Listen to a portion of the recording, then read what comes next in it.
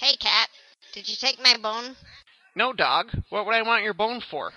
What for? The taste, the crunch, the pure joy? Nope. I'll stick with my mice. I get to chase 'em and eat 'em. You don't know what you're missing. Well, I know I'm not missing my teeth, like I might if I chewed bones. Only a cat would say that. And only a dog would eat bones.